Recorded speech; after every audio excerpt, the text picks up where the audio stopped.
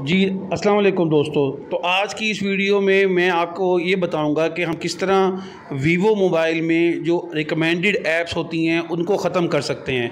तो ये काफ़ी ज़्यादा इशू होता है वीवो के यूज़र्स को। वो कहते हैं, जी, हमारे पास ये डबल डबल ऐप शो हो रही होती हैं तो हमें कोई ऐसा तरीका बताया जाए, जिसकी मदद से जो है ना, हम आप इसको ख़त्म कर सकें।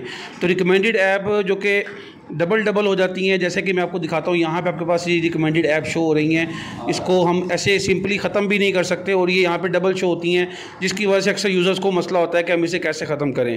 तो आज की इस वीडियो को आपने एंड तक देखना है और इसमें मैं आपको बताऊँगा कि किस तरह हम इसको ख़त्म कर सकते हैं। तो इसके लिए आपने करना है कि आपने सबसे पहले इसको स्क्रोल करते हुए आपने जाना है सेटिंग में।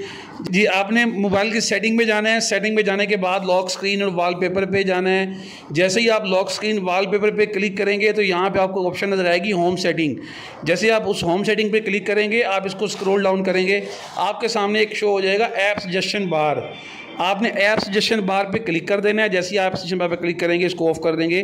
अब आप बैक करके चेक कर सकते हैं आपके पास ये जो है वो ऑप्शन जो थी रिकमेंडेड ऐप की ख़त्म हो चुकी है.